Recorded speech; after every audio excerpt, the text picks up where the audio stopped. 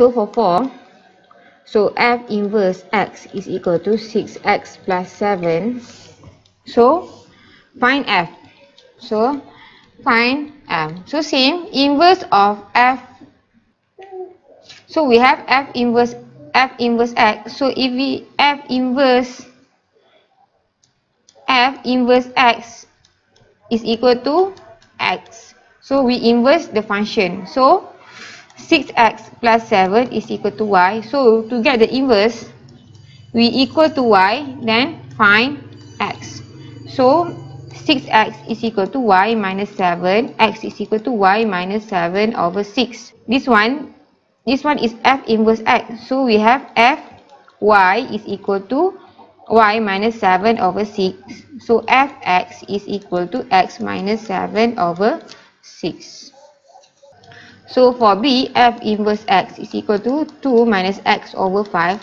So if we inverse f back, we will get fx. So 2x over 5 is equal to y. 2 minus x is equal to 5y. x is equal to, we bring it to the right and this is to the left. So x is equal to 2 minus 5y. So fy is equal to 2 minus 5y. fx is equal to 2 minus f 5x. Sorry.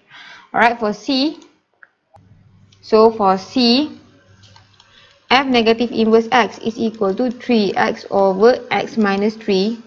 So, 3x over x minus 3 is equal to y. 3x is equal to y, x minus 3. 3x is equal to xy minus 3y. So, we bring x together.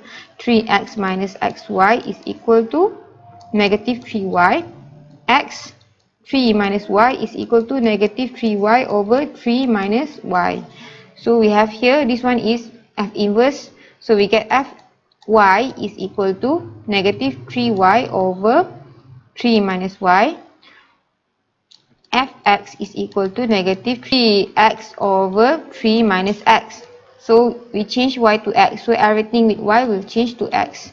Now, we have negative in front. If you don't want to have negative in front, we have to uh, change the position of the denominator. So, we will have 3x is equal to x minus 3.